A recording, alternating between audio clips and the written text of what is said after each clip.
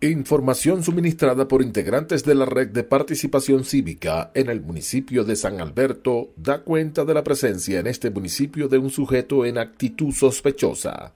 De manera inmediata es alertado el personal que conforma esta unidad policial, lo cual permite la ubicación de este sujeto en el parque principal de esta localidad.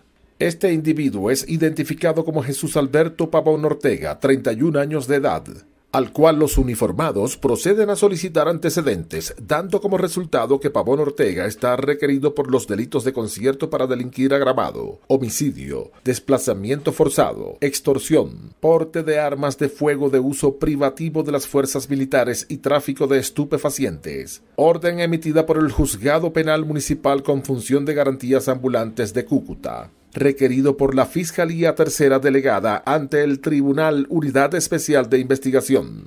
El capturado es puesto a disposición de la autoridad que lo requiere, siendo cobijado con medida de aseguramiento intramural. El detenido estaría relacionado con los homicidios de Miguel Ángel Bautista Martínez en el mes de mayo de 2018 y de Luis Alcides Tara Zona Salamanca, coordinador de Comité Veredal de ASCANCAP, en noviembre del mismo año en Tibú, norte de Santander.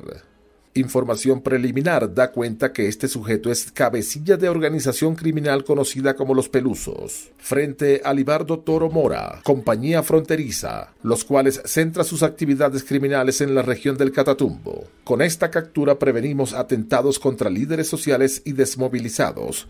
Continuaremos trabajando por la seguridad de los cesarenses.